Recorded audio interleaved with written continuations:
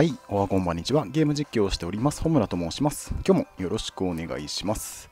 はい、えー、っと、じゃあ今日はですね、アニバサリーガチャですね、えー、の方が来ていましてですね、まあ見ていただける通り、まあこんな感じで、えー、っと、何人か来ております。えー、っとですね、まああの僕もまだマウスガチャは決めてないんですけれども、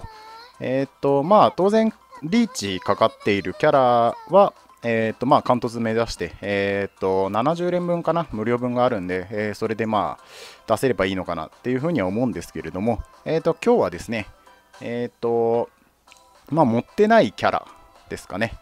えについて、えっと、どれを選んだ方がいいかっていうのを、まあ、参考程度に、えー、と話していこうかなと思います。まあ、この機会にね、70連と、あとは手持ち持ってる石とか、ガチャチケで、えーと、関東目指して引こうかなとは思ってるけど、えーと、一体どれを引いた方がいいのかなっていう、まあ、性能がどれがいいのかなっていうのが、ちょっとね、知りたいっていう方が、えーと、いるのではないかというところで、今日はちょっとお話ししていこうかなと思います。えっ、と、まあ、一応大前提としてですね、えっ、と、毎回ちょっと僕の方では言ってるんですけれども、えっ、と、まあ、皆さん持ってるキャラと、まあ、メモリアとが違うので、えー、っと、まあ、編成等ね、皆さん違うと思うんで、それぞれ。なので、えー、っと、あくまで一つの参考として、えー、っと、聞いていただければと思います。えっと、1キャラ1キャラの詳しくね、この編成だったらこれがいいっていうのはちょっと言わないんですけれども、あくまでね、えっと、1体の個人的なキャラとして、えっと、何がいいかと、あとは、ついでに、えっとね、メモリアの方も紹介していこうと思います。結構メモリア重視で、えっと、ガチャを引かれる方もいるみたいなので、えーと、そちらの方も少し触れながらやっていきたいと思います。はい。えーと、じゃあまずはホーリーマミさんからですね。えっ、ー、と、ホーリーマミさんの方なんですけれども、えーと、アタックタイプというところで、まあちょっと HP がね、えーと物足りないところはあるんですけれども、まあ十分なステータスを持ってはいます。えっ、と、まあ、今、水が強い、まあ、その、なんていうんですかね、えっ、と、成り上がり組がいる八千代とか七香とかいる中で、まあ、貴族性を一体貫突しとくっていうのは、まあ、強みかなというところで、まあ、引いといて損はないキャラではありますね。で、一応、相手に、えー、状態異常時ダメージアップと攻撃力アップと、えー、確率切りと状態異常解除というところで、ただですね、えー、とこの敵、えー、状態異常時ダメージアップっていうのは、えー、とこの確率の霧の前の段階で発動してしまうんで、えー、と同じターンで、えー、と霧が発動していても、えー、とこの状態以上のダメージアップは適用されないので、えー、と先に何かの状態以上を付与した状態でこのコネクトを使うことによって、えー、と火力が上がるので、えー、とそこだけ注意していただければと思います。はい。で、えーと、メモリアについてですね、えーと、このアビリティ、えーと、決して弱くありません。まあ、割と結構強い方だと思うんですけれども、一応この上位互換でですね、えー、と次の晴れ窓のところで、えー、と紹介するんですけれども、ここが霧じゃなく幻惑になっているものがありましてですね、まあそっちの方がね、一応強いので、メモリアとしてはやっぱそっちの方を重視していただければと思います。こちらの霧の方なんですけど、付与しても大体まあ20、30%ぐらいかな。20%ぐらいかな。で、えー、と攻撃を無効化、ミスさせることができるんですけども、幻惑はまあ大体70%ぐらいなので、えっ、ー、と、まあ50%の差があるってところで、うん、まあ、ホーリーマミさんは引くのであれば1枚完凸を持っておいて損はないかなっていうメモリアになっております。はい、スキルについてはちょっと飛ばします。で、アビリティについては、えっ、ー、と、決してこれも弱くはないんですけれども、まあ、あれですね、キューベナイトとはちょっと違う点が、ブラストダメージアップと、まあ、あっちは攻撃力アップですけれども、まあ、ちょっとそこで使い分けができるっていうところで、まあ、一応素のダメージを開けることができないので、えっ、と、まあ、優先度、まあ、は低いかなってところではありますけど、これもまあ1枚貫突持っといて損はないカードだと思いますので、えっ、と、取っていいとは思います。はい。で、えっ、と、聖女降臨ですね。えっ、と、結構、やっぱ、なんだろう、僕も2枚貫突持ってるんですけれども、えっ、と、かなりこれが強くてですね、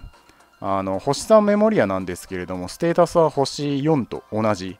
えー、ステータスを持っていましてですね、それと、えっ、と、これが5ターンで打てるんですよね。で、ミラーズだと、いわゆる3ターン目に、自分が3ターン目に打てるメモリアになっております。で、チャージ後ダメージアップと攻撃力アップと、えーと、チャージ後がなくても攻撃力アップ8というところで、かなり、えー、火力を上げることができるカードになっておりますので、わりかし、えーと、ホーリーマミさんをお持ちでない方は、えっ、と、まあ、回してもいいのかなっていう気はします。えっ、ー、と、じゃあ次は、えっ、ー、と、晴れ窓ですね。晴れ着窓がですね。えっ、と、ステータスはもう申し分ないぐらい、えっ、と、強いと思います。で、えっ、と、サポートタイプというところで、えっ、と、HP 回復を持っていましてですね、えっと、まあ、ミラランとか、まあ、ミラーズもそうなんですけれども、えっ、と、残 HP にが追加されたっていうところで、えっ、と、まあ、耐久力あって、HP 回復もあってというところで、あの、使えるキャラではないかと思います。はい。で、えっ、と、スキルは、うん、まあ、これは、どちらかといえば、えっ、と、始めたばっかの人たちはちょっとわからないかもしれないんですけど、まあ、あの、チャレンジクエスト、あのイベントクエストですね。イベントクエストでチャレンジクエストっていう結構難易度が高いやつの1個上があるんですよ、まだ。EX クエストっていうのが。それでまあ結構単体ですけど、デバフを入れればかなり攻撃力下げられるんで、まあ、晴れ窓引く人はこれをまあ貫突じゃなく無凸でも1枚持ってるだけで全然変わりますので、え、いいのかなと思いますけれども、まあ後回しでいいカードだと思います。はい。で、これがさっき言ってた、えー、っと、幻惑付きのやつですね。まあ、こっち、晴れ窓引く人は、できればこれを1枚貫突させておきたいところはあります。えっ、ー、と、与えるダメージアップ5というところで、まあ、かなり、えっ、ー、と、これが付与しなくても、あの、ダメージソースとしては高いので、えっ、ー、と、引いといていいと思います。で、アビリティについては、これも微妙な性能なので、えっ、と、まあ、これについてはいいかなと思います。はい。なので、えっと、そうですね、晴れ窓は、うーん、そうだな。まあ、クエストではほとんど使う人はいないとは思うんですけれども、まあ、ミラーズでそれなりに戦力が整っている方であれば、えー、取っていいのかなと思います。ただ、やっぱり、整ってない状態でこれを1枚貫突しとくのはちょっと危険かもしれないですね。はい。はい、次は、えっ、ー、と、噂するのの方ですね。えっ、ー、と、これが星3になってます。えっ、ー、と、唯一の星3限定キャラで、えっ、と、星5実装されてるやつですかね。はい。えっ、と、星3で、えーと、入手できるので、かなり比較的、えっ、と、ゲットすることは可能です。おそらく70連も回せば、1体ぐらい出てくるんじゃないかなっていう気はしてますけど、まあ、すり抜ける可能性もありますけどね。で、えっ、と、これ1枚、えっ、と、持っとくだけで、えっ、と、マギアチップと、えーと、イベントで来るボトルですね。で、えーと、とることが可能なので、1枚さえ手に入れれば、もう噂ズルのガチャは回さなくてもいいレベルです。はい。なので、えーと、他のガチャを回す前に、噂するのだけ一体手に入れて、で、残った、えーと、無料ガチャ分は違うやつに使うっていうのもありだとは思います。はい。で、性能としてはどうなのっていうところで、えー、と星5まで上げるとですね、えー、と割かし非属性の中ではトップクラスに強いです。はい。まあ、あの確率見量は変わらないんですけれども、わりかしあの EX とかでもあの僕も未だに使ってるんですけど、あのかなり強いです。はい。まあ、確定見量じゃないところで、まあ、カノコとかかな、と比較されちゃうところはあるんですけれども、まあ、あの非属性の中では優秀というところで、で、星3から星5に上げられるってところで、いいのではないかと思います。はい。で、えっ、ー、と、これですね。えっ、ー、と、フュージョンなんですけれども、これが、えっ、ー、と、5ターンで打てます。えー、正常コリンと同じですね、単数的には。で、えーと、ブラストダメージアップとアクセル MP アップというところで、えーと、どっちかが生きるというところですね。うん。なので、これも攻撃に転じられるわりかし、あの、星4のメモリアの中では数少ない、えーと、メモリアになっておりますので、まあそうですね、噂するの1体引くまでにこれを貫突するっていうのは多分難しいと思うんで、うん、まあオーバーリミッターか何かでもし上げるようであれば上げていただければと思います。まあ、後回しでいいと思います、これは。で、えっと、アビリティについてですね、えっと、アーマメントアブデアデプトか。そうか。アーマーメイドっていつも読んでた。で、えっと、ダメージはそれを置いといて、えっと、ダメージアップとダメージカットですね。えっと、星さんの中ではこれもかなり、えっと、使えるメモリアになっておりましてですね、えっと、今回からかな、えっ、と、星3のメモリアを嫁ることができるオーバーリミッターが、えっ、と、確かショップ交換、課金せずともショップ交換できると思うんで、イベントの、あれかな、えっ、とメ、メダルだったかな。で、手に入れられたような気がするんで、えー、とこれをとつるのもありだと思います。1枚だけ取って。なので、噂つるのが出てくるまでにこれが1枚出てくればオーバーリミッターでとつらせて、噂つるのもマギアチップとボトルでとつらせるっていうのが、わりかしありな流れなんじゃないかなって思いますね。はい。せっかく無料ですからね。はい。えーと、じゃあ、ホムラの、えーと、水着バージョンですね、の説明をしていこうと思います。こちらの方がですね、えっ、ー、と、まあちょっと始めたばっかとか悩んでる方向けにはちょっと厳しいカードだと思います。まあ、それなりに戦力が揃っている方向けですね。どちらかといえば。まあ、必ず回避って強いんじゃないっていうところは、まあ、あるんですけれども、ちょっとステータス的にあの防御力とかが低いんで、なかなか耐久面には欠けるというところで、ちょっとね、あのー、引く、今回のピックアップ対象の中では、一番僕の中で低い感じにはなっておりますね。ただこの確率スキルクイックっていうのが、えー、っと、現状、この水着ホムラにしかなくてですね、あのー、これ何ぞやっていうと、スキルメモリアのターン数を1ターン減少させることができるんですよね。例えば、えー、っと、クエルブルームが、えー、っと、無凸で6ターンなんですけれども、それを、えっと、まあ、コネクト先の子がクエルブルームを持ってたとして、コネクトしてあげることによって、それを5ターンで打つことができる。いわゆるミラーズで言えば3ターン目に打つことができるんですよね。っていうところが、まあ、かなり強みかなっていうところで、まあ、ある意味それを生かすなら、まあ、主戦力揃ってない人たちでも、まあ、メモリア揃ってない人たちも、えー、と含めて、まあ、引いてもいいのかなとは思いますけれども、まあ、今回は後回しでもいいのかなとは思います。キャラ的にですね。うん。で、えー、っと、メモリアについては見てもらう通り、うん、微妙なので、えー、っと、メモリアに関してはいいかなと思います。なので、やっぱキャラ含めて、ちょっとね、優先度としては低いのかなとは思います。はい。えー、と、次は、えっと、水着いろはですね。水着いろはなんですけれども、かなりステータスは高めです。はい。えっと、サポートタイプとしては、かなり高いステータスを持ってると思います。で、コネクトなんですけれども、ブラストダメージアップ、防御力アップ、必ず霧というところで、この必ず霧がちょっとネックなんですけれども、あの、幻惑とかなら良かったんですけどね、まあ、せめて暗闇とか。っていうわけで、まあ、使えるところとしては、このブラストダメージアップと、まあ、防御力アップってところで、うん、まあ、やっぱりここも優先度が低くなっちゃうかなってところですね。せっかくサポートタイプなら、これありきの、ここは HP 回復とかにしといてくれた方が、ちょっと使いやすかったかなとは思います。で、えー、とメモリアについてなんですけれども、えー、とスキルに関しては、えー、と特別今回は触れずにいますけれども、アビリティの方ですね、これが、えっ、と、まあ、初心者っていうか、これも、えっ、と、それなりに戦力揃ってる人たちのマギアパーティーとか、そういうのに組み合わせることで、えー、と本領を発揮するカードなので、やっぱり、えっ、と、そうですね、今回引くっていう人からしてみたら後回しでいいのかなとは思います。はい、次は渚ですね。えー、っと、渚の方なんですけれども、まあ、コネクトは、えー、っと、攻撃力アップ必ず切り確率で回避無効というところで、まあ、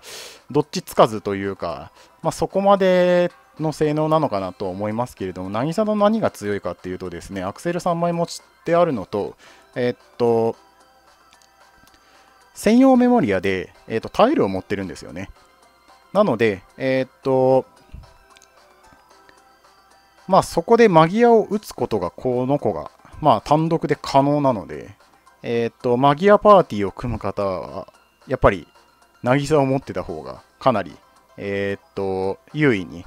えー、ミラーズとかを進めることも、えっ、と、可能です。で、ちょっと耐久面とかは若干やっぱ低めなんですけれども、そのタイルがあるっていうところで、えっ、と、まあ、いわゆる3ターン耐えて、えーと、マギアを打つっていうことが可能なので、まあ、かなり、えーと、渚は強い、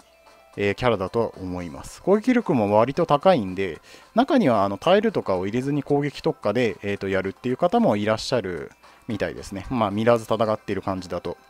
で、メモリアに関しては、えっ、と、触れずにはいますけれども、まあ、微妙なところではあるので、えっ、と、なんて言うんですかね、これも、えっ、と、全般的には後回しのキャラでいいのかなと思います。まあ、マギアパーティー組む方であれば、渚はやっぱり持ってて損はないカードだと思います。はい、えー、っと、じゃあ、ホーリーアリナですね。えー、っと、ホーリーアリナはまあ、アタックタイプというところと、あとはやっぱり最初と同じで、ホーリーマミさんと同じで、えー、と、貴族性っていうところでかなり強みですね。で、あとはブラスト3枚持ちっていうところで火力をかなり上げられるんで、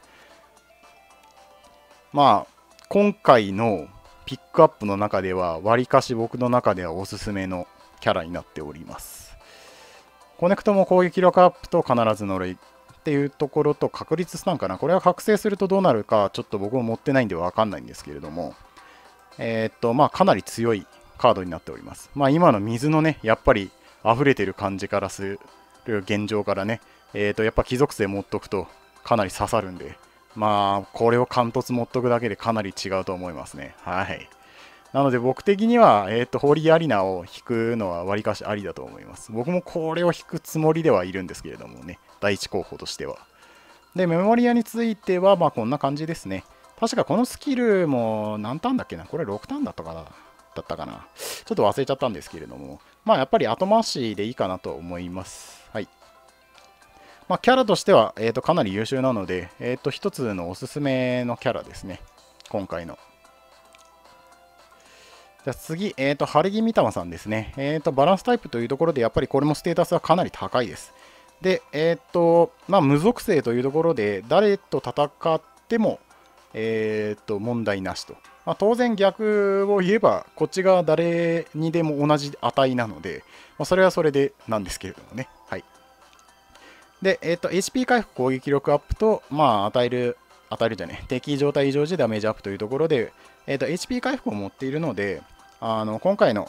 残 HP に関して、えー、言えば、えー、とまた1人、えー、無属性というところで、まあ、耐久することも結構可能なので、バランスタイプというところで、まあ、これを1体編成するだけでも違うのかなというところはあります。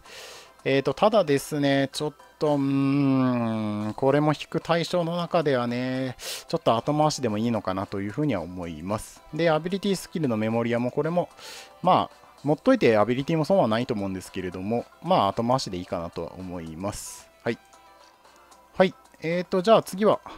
ホムホムですね。えーと、クールホムラということで、クーホムと呼ばれているカードですね。えーと、かなり、えーと、クーホム引いてる方、えーと、ツイッター等を見ている限りはかなり多かったです。まあ僕も持ってないんですけれど、密体も。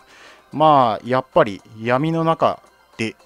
だけではなく、えーと、全キャラ含めてかなり、えーと強いキャラになっております。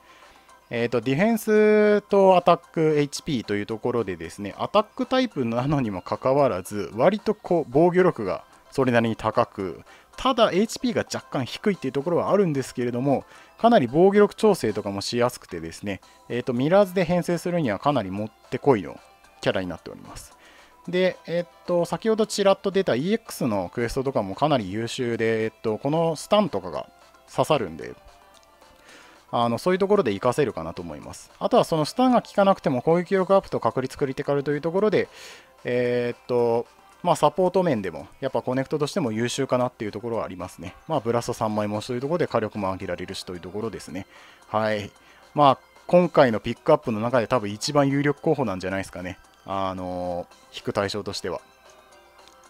で、スキルとアビリティのメモリに関しては、まあ、うんってところですね。はい。いうことはあんまりありませんね。で、キャラ目的で引くのであれば、まあ一番の有力候補だと思います、これが。はい。えー、っと、じゃあ次は万年桜ですね。えー、っと、万年桜バランスタイプというところで、まあこれもかなりステータスがお化けさんになっていましてですね、えー、コネクト攻撃力アップクリティカルという、まあ純粋な感じになっておるんですけれども、え、っと、かなり強いです。万年桜やっぱり。光の中でもかなり強いです。うん。なんでまあ万年桜貫突するのもありだと思うんですけれども、うーん、まあ、これを一体貫突持ってといてどうにかなるって言われるとちょっと微妙なので、うん、まあ、万年桜もやっぱ強いんですけどね。うん、まあ、そうだな。まあ、それなりに戦力、これも揃ってる人からしてみたらかなり強いとは思います。はい。まあ、始めたばかりの人が引くのもいいんですけれども、やっぱりさっきのクーホームとか、ホーリーアニダンと比べてどっちの方がいいって言われると、ちょっと優先度は低くなるかなとは思います。はい。えっ、ー、と、いろはちゃんですね。えっ、ー、と、クリティカルと確率減枠というところで、えー、コネクトはわりかしね、え攻撃力アップとかがないんで、あくまで、えーと、サポート面っていうところではあるんですけれども、まあ、ステータスもわりかし、まあ、低くはないんですけれども、まあ、そうっすね。HP とかは割と高めになるとは思うんですけれども、うーん、まあ、やっぱコネクトも含めて、ちょっとね、あのーなんだろう、メモリアがかなり、えー、っと、揃っている方でないと、生かすことがうまくできないのではないかなというふうに僕は思います。はい。やっぱここに攻撃力アップが入っているならば、それなりにはやっぱり汎用性高くなるのかなと思うんですけれども、やっぱりここは幻惑とクリティカルというところで、ちょっとやっぱりね、えー、と使いにくくはなってきてしまうのかなと思います。で、アビリティとかメモリアについては、えっと、防御力ダウンとかが入ってるんで、ここら辺をね、うまく活かせる編成でないと難しいところではあるので、えっと、ここら辺も後回しでいいのかなとは思います。はい。じゃあ、えっと、最後にですね、えっと、結局どれを引いた方がいいのっていうところで、キャラとして引くのであれば、えっと、1番はクーホーム。えっと、2番目がホーリーアリナ。えー、と3番目が、そうだな、僕的には、えー、と万年桜というところですね。はい。で、えっ、と、メモリア含めて弾くのであれば、えっ、と、ホーリーマミさんと、えー、晴れ着まどかのところはありだと思います。はい。で、えっ、と、結局、噂するのも、僕は弾いといて損がないキャラだとは思います。はい。すいませんね。優柔不断な結果になってしまって。というわけで、えっ、と、一番最後に、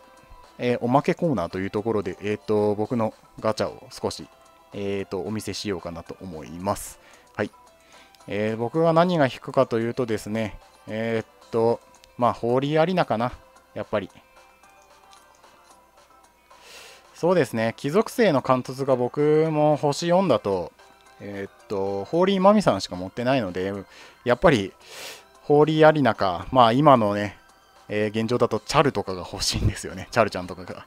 というわけで、まあ、すり抜けもそこはありだと思っているので、えー、と無料分はすべて、えー、とホーリーアリナに使っていこうと思います。はい。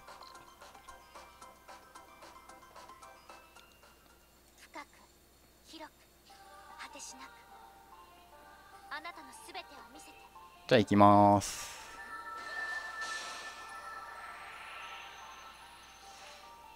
まあ、星3のキャラ確定ですね。星3のキャラ以上が確定ですね。これメモリア星4かな。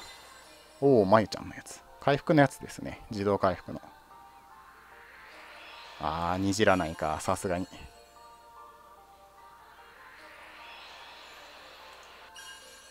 アスカが2枚と、まあまあまあまあ、